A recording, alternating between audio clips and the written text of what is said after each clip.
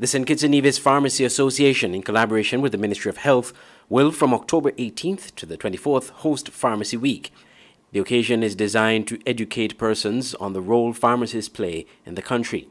The theme this year is Pharmacy for a Better Tomorrow. Chief Pharmacist for St. Kitts and Nevis, Vanessa Matthew, spoke to SKN Newsline about the week of activities. We will be starting out with a church service by the Antioch Baptist Church.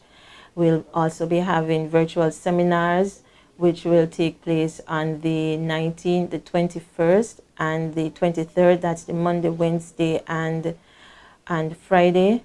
And we have we plan it for in the evening when most of us are at home finishing up work. So it gives everybody a chance to be there. And I'm really happy for the fact that we are now facilitating virtual virtual meetings, virtual seminars, because it takes persons from all walks of life, from different time zone to actually be part of many activities and it makes it so much easier. So this is part of what we are also going to do.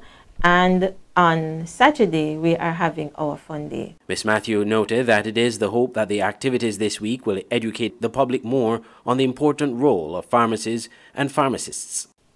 My intention or the intention of the association is to is to bring awareness to the Federation about the function of pharmacy in a broad sense.